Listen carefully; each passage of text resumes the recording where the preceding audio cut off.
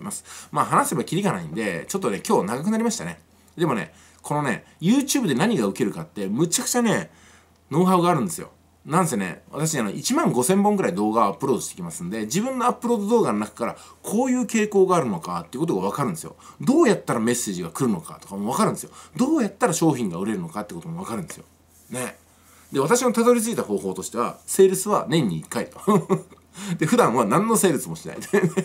ただ、速稼塾ってものがあるってことだけは知っていただくだよね。そして、年に1回のセールスがものすごく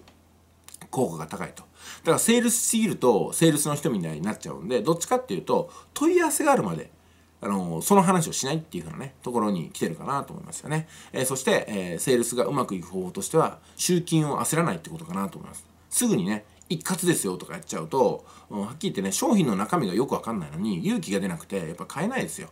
で責任を取って発信できない部分もあります。あなるほど。久保さんの動画とか速稼塾っていうのは入る前と入るった後やっぱ期待通りだなもしくは期待以上だなと思ったらそれは自発的にお支払いしていただきますんでもうなんですか請求する必要はないんですよ。逆に請求しないと払っていただけないようなものっていうのはやるべきではないと私は感じてます。で多くのね、あのー、動画発信者の方とかねアフィリエーターさんとかコンテンツ販売者あ塾の販売者に本当ここは聞いていただきたいんですけども、あの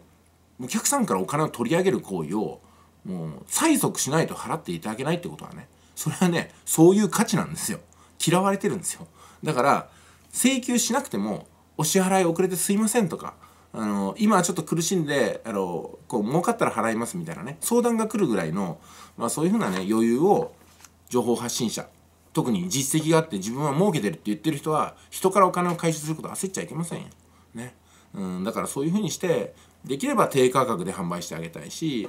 あのできればね支払いが滞ってる方に対しても愛情を持ってもっともっとじゃあこういうふうにしたらあなたの暮らしは楽になるんじゃないですかと。こういうふうにしたらあなたのお金増えるんじゃないですかっていうふうに支払いがきつければきついほどどうやったらそのお金がねそのお金の問題が解決できるのかってことを親身に親身に、えー、こう限定公開動画非公開動画合わせてですね。限定公開あ何変なこと言っちゃった。限定動画とかワンツーワンの動画を駆使してその人に寄り添ってあげることがあ一人一人の問題解決に当たるんではないかなと思いますよね。